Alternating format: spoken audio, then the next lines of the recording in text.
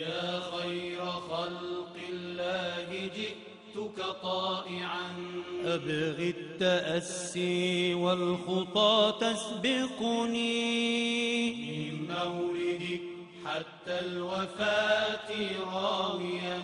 ما صح عنك والهوى يسكنني. يوما فيوما للمدينة سائرا. نحو الحبيب والورى يشهدني. إن الحمد لله نحمده ونستعين ونستغفره ونعوذ بالله من شرور أنفسنا وسيئات أعمالنا. من يهده الله فلا مضل له ومن يضلل فلا هادي له. وأشهد أن لا إله إلا الله وحده لا شريك له. وأشهد أن محمدا عبده ورسوله. اللهم صل على محمد وعلى آل محمد كما صليت على إبراهيم وعلى آل إبراهيم إنك حميد مجيد. اللهم بارك على محمد وعلى آل محمد كما باركت على إبراهيم وعلى آل إبراهيم إنك حميد مجيد.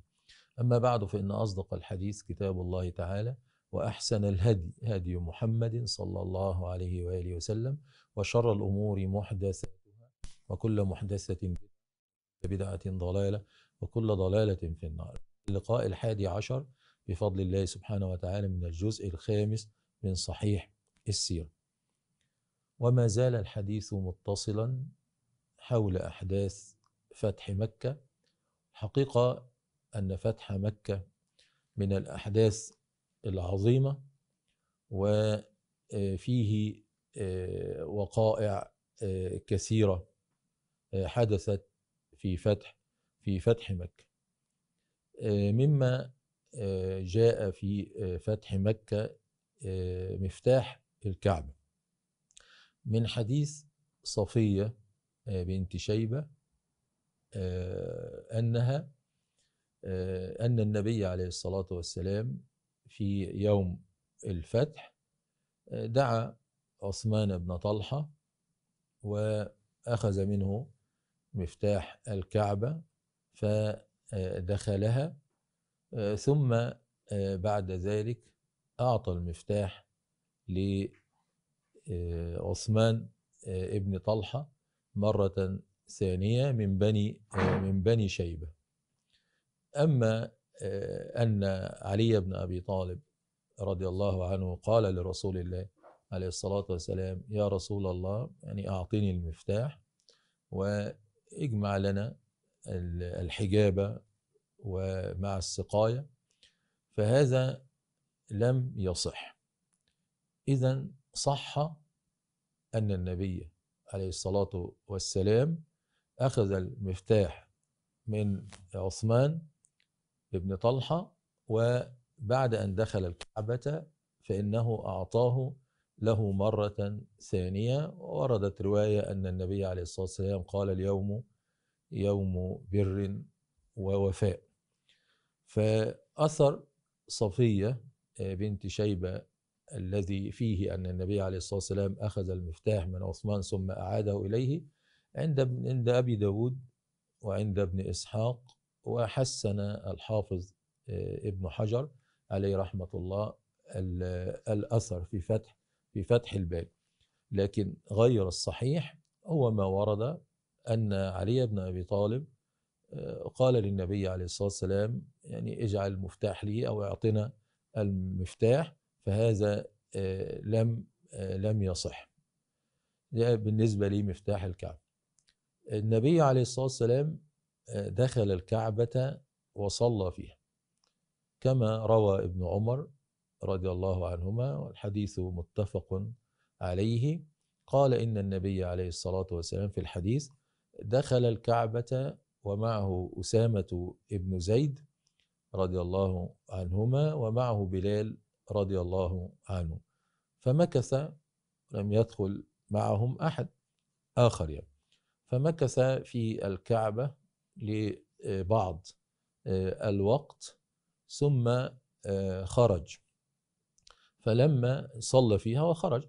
فلما خرج قال ابن عمر كنت أول من سأل بلالا رضي الله عنه أين صلى رسول الله عليه الصلاة والسلام؟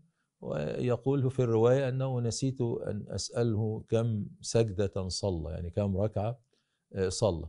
لكن آه، ابن عمر رضي الله عنه لحرصه على تتبع النبي عليه الصلاة والسلام في كل أموره فكان من أشد الصحابة تتبعا لأثار النبي عليه الصلاة والسلام. فهو كان أول من ذهب إلى بلال رضي الله عنه عندما خرجوا من الكعبة يسأله عن صلاة النبي عليه الصلاة والسلام وأين صلى وكذا. وفي الفتح في فتح مكة نزلت سورة النصر كما في البخاري وغيره. إذا جاء نصر الله والفتح ورأيت الناس يدخلون في دين الله أفواجا فسبح بحمد ربك واستغفره إنه كان توابا. جاء نصر الله والفتح. بفتح مكة بدأ العرب يدخلون في الإسلام لأن العرب كانوا ينتظرون وينظرون ويترقبون الصراع الدائر ما بين النبي عليه الصلاة والسلام من جهة وبين قريش من جهة من جهة أخرى. فقريش هي التي كانت تصد وهي التي تحارب وهي التي تمنع وهم قوم النبي عليه الصلاة والسلام. فكان العرب ينتظرون نتيجة هذا الصراع. لو انتصر النبي عليه الصلاة والسلام فإنهم يتبعونه. ولو انتصرت قريش فإنهم مع مع قريش. لذا فإن الفتح لما جاء فتح مكة فبدأ الناس يدخلون في دين الله أفواجا كما كما في آه، في الصورة.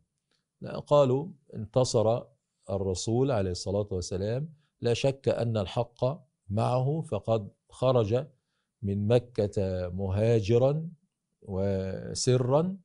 وها هو يعود الآن إليها علانية فاتحا لها فقالوا إذا إن الحق مع رسول الله عليه الصلاة والسلام فبدأ الناس يدخلون في دين الله آه، أفواجا. وهذه الصورة يعني نعت إلى رسول الله عليه الصلاة والسلام يعني إيه نفسه لأن إذا كل شيء وصل إلى التمام فإنه يكون إلى نقصان. هكذا يعني إيه سنة الله سبحانه وتعالى في خلقه. يبدأ الشيء صغيرا ثم يكبر يكبر يكبر يصل إلى قمته وتمامه ثم بعد ذلك يبدأ في في النزول. يعني بداية من بني آدم الإنسان الصغر والشباب ثم النزول إلى الشيخوخة إلى كل شيء. هذه سنة من سنن الله سبحانه وتعالى لا تتخلف لا في العباد ولا في البلاد ولا في في الأحداث. وهذا هو ما فهمه ابن عباس رضي الله عنهما من سورة النصر وفهمه عمر وأقره عمر رضي الله عنه أي أقر ابن عباس على فهمه آه، لسورة النصر أنها نعت إلى رسول الله عليه الصلاة والسلام نفسه لأنه وصل وصل الأمر إلى التمام إذا جاء نصر الله والفتح. فوصل الأمر إلى التمام فبعد كل تمام يعني يأتي النقصان. فقال ابن عباس رضي الله عنهما هذه الصورة نعت إلى رسول الله عليه الصلاة والسلام نفسه وأقره عمر وقال أنا كنت يعني ما أراها إلا هكذا أيضا لما سأل ابن عباس في جمع من من الصحابة. النبي عليه الصلاة والسلام أباح لخزاعة أن تثأر من بني بكر. لو نتذكر في أول كلامنا قلنا إن السبب في نقض صلح الحديبية هو أن قبائل بني بكر اعتدت على خزاعة. قبيلة بني بكر اعتدت على قبيلة خزاعة بإعاز ومساعدة من قريش وهذا هو الذي أدى إلى آه، الفتح لأنه كان في شروط صلح الحديبية أن الحرب توضع لمدة عشر, عشر سنوات. فالنبي عليه الصلاة والسلام أباح لخزاعة أن تسأر تأخذ ثأرها من بني بكر حتى صلاة العصر. وبالفعل فإن خزاعة ثأرت لنفسها حتى صلاة العصر لكن حدث آه، شيء بعد ذلك. أغضب النبي عليه الصلاة والسلام من حديث أبي شريح آه، الخزاعي رضي الله عنه وهو عند مسلم في البخاري بنحوه أن آه، رجلا كان يعني عليه ثأر لخزاعة. يعني ارتكب قتل أحدهم وكان عليه ثأر. لخزاعة لكن جاء في الوقت الذي بعد الوقت الذي حدده النبي عليه الصلاة والسلام لخزاعة أن تسأر فيه. فلما آه، قابلوه كان كان يريد أن يذهب إلى رسول الله عليه الصلاة والسلام ليبايع النبي عليه الصلاة والسلام على على الإسلام. فحالوا بينه وبين أن يصل إلى رسول الله عليه الصلاة والسلام وقاموا بقتله يعني قصاصا مما فعله في في الجاهلية. فقاموا بقتله فوصل الأمر خبر إلى رسول الله عليه الصلاة والسلام فغضب النبي عليه الصلاة والسلام غضبا شديدا لأنه أباح لهم أن يسأروا إلى صلاة العصر فقط وخطب النبي عليه الصلاة والسلام الناس وكان فيما قال إن الله هو الذي حرم مكة. إن الله سبحانه وتعالى هو الذي حرم مكة وأباحها لي ساعة من نهار ثم عادت إلى حرمتها إلى يوم القيامة أو كما قال النبي عليه الصلاة والسلام.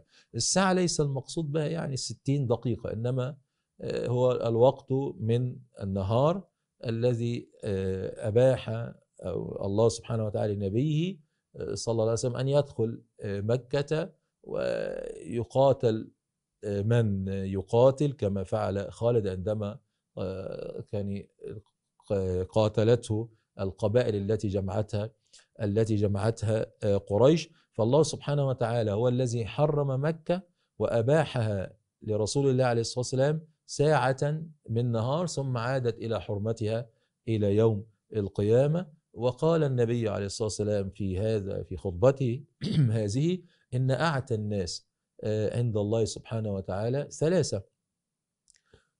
رجل آه، قتل في الحرم ورجل آه، قتل غير قاتله ورجل طالب بزحل زحل في الجاهلية.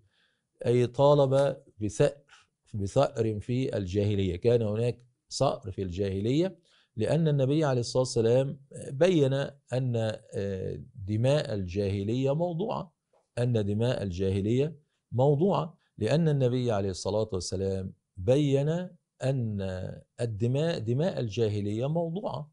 يعني الذي كان له ثأر في الجاهلية فلا يأتي بعد إسلام آه، بعد إسلامه وإسلام الآخر يأخذ بسأر كان له في في الجاهلية لذا غضب النبي عليه الصلاة والسلام على آه، هؤلاء من خزاعة الذين قتلوا الرجل الذي كان يريد أن يدخل في الإسلام ويريد أن يبايع النبي عليه الصلاة والسلام. وقال النبي عليه الصلاة والسلام لأدفعن ديته أو كما قال صلى الله عليه آه، وسلم.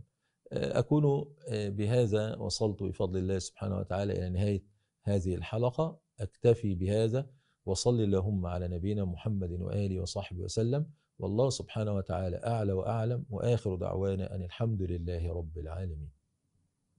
يا خير خلق الله جئتك طائعا.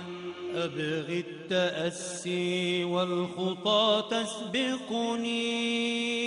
من مولدك حتى الوفاة راويا. ما صح عنك والهوى يسكنني يوما فيوما للمدينة سائرا. نحو الحبيب والورى يشهدني.